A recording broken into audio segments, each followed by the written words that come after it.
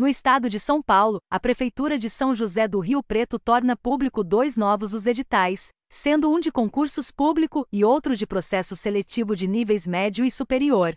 Sob jornadas de 24 a 40 horas semanais, os profissionais contratados sob regime jurídico estatutário ou regime especial devem receber remunerações que variam de R$ 2.604,07 centavos a R$ 10.455,68. Vale ressaltar que o salário dos profissionais na função de procurador do município será acrescido os honorários advocatícios.